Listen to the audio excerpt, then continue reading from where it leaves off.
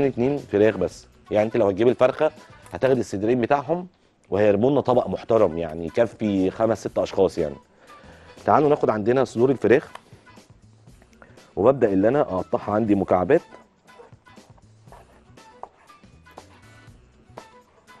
زي ما حضراتكم كده شايفين. أهو.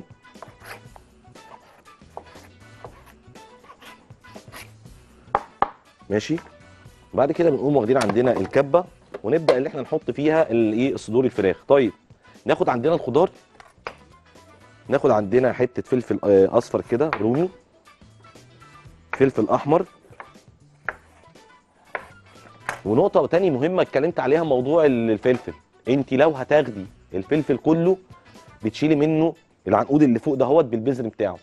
لو انت هتاخدي قطعه منه وتغلفيه تاني وتحطيه في التلاجة ما تشيليش دي سيبيها زي ما هي. ده بتحافظ على العمر أكتر بتاع الفلفل. خصوصا الفلفل الالوان آه، بيبقى كبير شوية عن الفلفل الأخضر الرومي مثلا. طيب حطينا آدي ال- ال- الحاجة. أقطعها عندي مكعبات.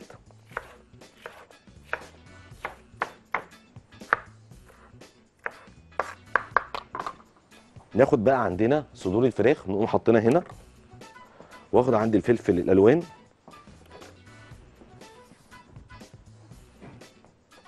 ونبدأ بقى ندي لها إيه مجموعة البهارات بتاعتها. إيه مجموعة البهارات؟ تعال نحط لها بس شوية كزبرة خضراء تخلي طعمها حلو قوي وبتخليها في حتة تانية خالص.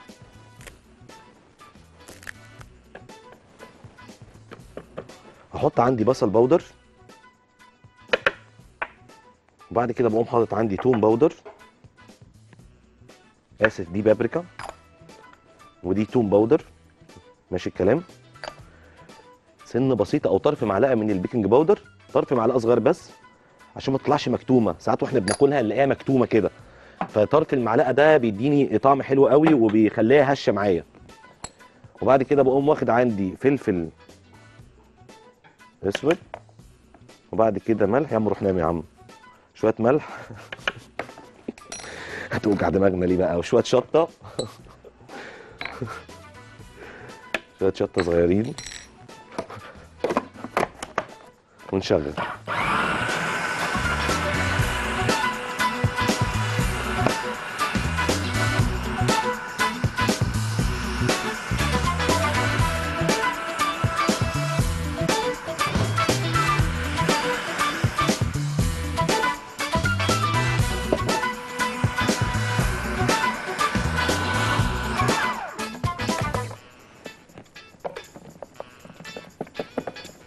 ممكن إيه آه، أحط لها معلقة بس دقيق كده. معلقة دقيق بسيطة.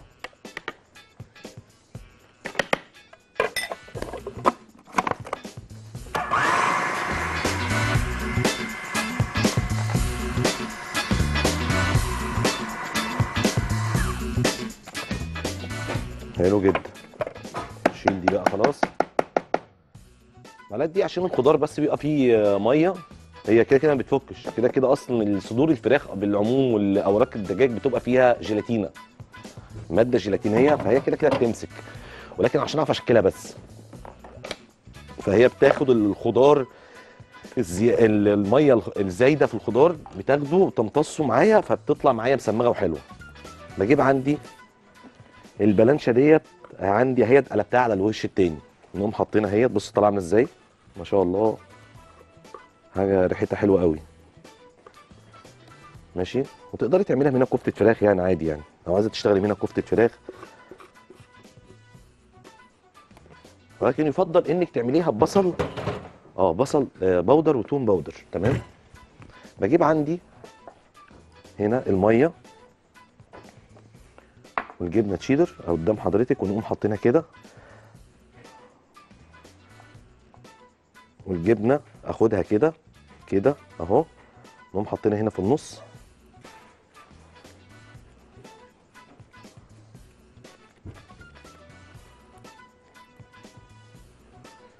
نعملها كده زي البرجر ماشي؟ أقوم واخد واحدة تانية. يعني سهلة قوي وجميلة ومش تاخد وقت معاكي. واللون ده طالع طبعا من الفلفل الالوان وطالع عندك من حاجات كتير قوي آه زي البابريكا اللي إحنا عندنا وكل الحاجات ديت فما شاء الله هتلاقي الحاجة ماشية معاكي مزيكا يعني. تقدري تخزنيها دلوقتي وتحطيها عندك في الفريزر. الناس الموظفة اللي بتيجي من الشغل مثلا في رمضان تيجي على الساعة واحدة اتنين تعمل الحاجة ديت وتحطها على طول على القلي. وطعمها حلو قوي. صدرين الفراخ. الكميه دي أهي. دي صدرين اتنين بس فراخ. انت هتشوفي دلوقتي هتطلع كام واحدة؟ فلو قلنا مثلا كل واحد من الأسرة ياخد ثلاثة أو أربعة كمان يكفي إن شاء الله آه، خمس أشخاص لست أشخاص.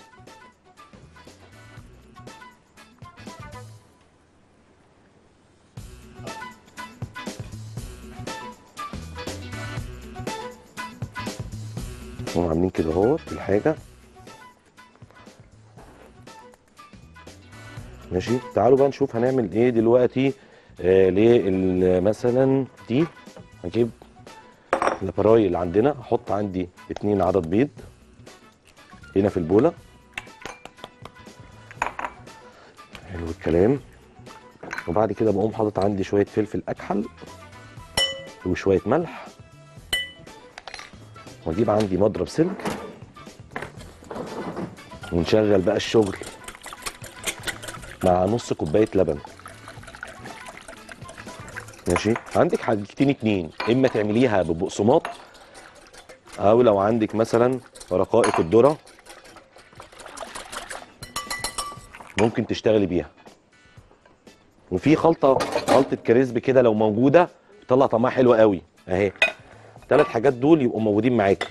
دقيق وعندك ال- الكريسبي بتاعك وبعد كده أهوت عندك الأبراي بتاعنا اللي إحنا هنشتغل بيه.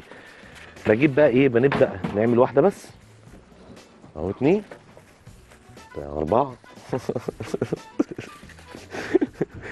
بص يا أستاذنا هنا الدقيق أهو.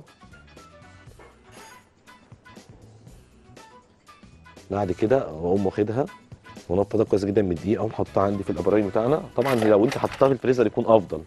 يعني لو حطيتها في الفريزر شوية تشد هتكون أفضل معاكي. وبعد كده نقوم حاطينها هنا.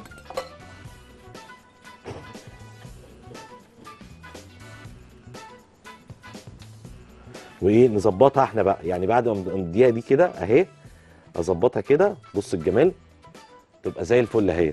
نقوم واخدينها اهي. نقوم هنقوم واخدينها ونبدأ اللي إحنا نحطها. بص الشكل الدائري انت بتتحكمي فيه بقى. خلاص؟